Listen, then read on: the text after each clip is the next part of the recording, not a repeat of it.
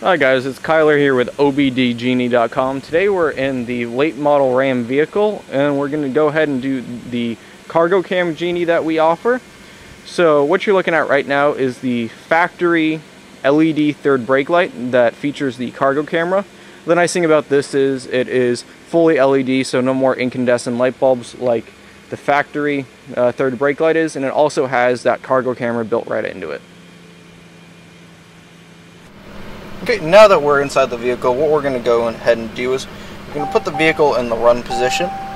We're going to let the vehicle give it 15-20 seconds just for everything to fully come online. And what we're going to do is we're going to take the OBD Genie programmer. We're going to locate your OBD2 port underneath the dash here. Then just simply plug the programmer in.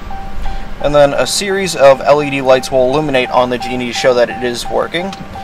And what we're waiting for is a green light will appear on the Genie once the programming has finished.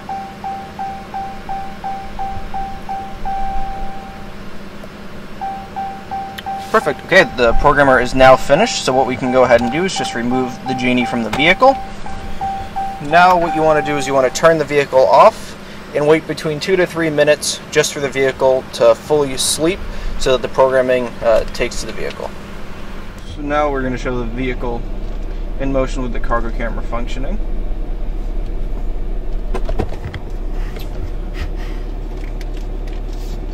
The cargo camera does have a timeout function, so it will time out after about 15 seconds while driving.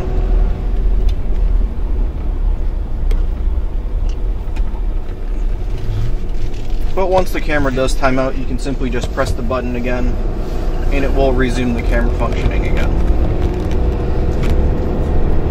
This Genie and many more are available at obdgenie.com and thank you for watching.